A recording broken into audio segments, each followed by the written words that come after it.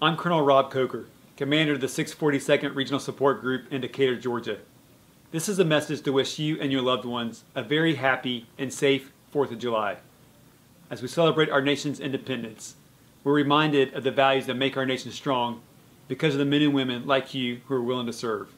Together, we'll continue to make our nation safe in the future. One team, one fight.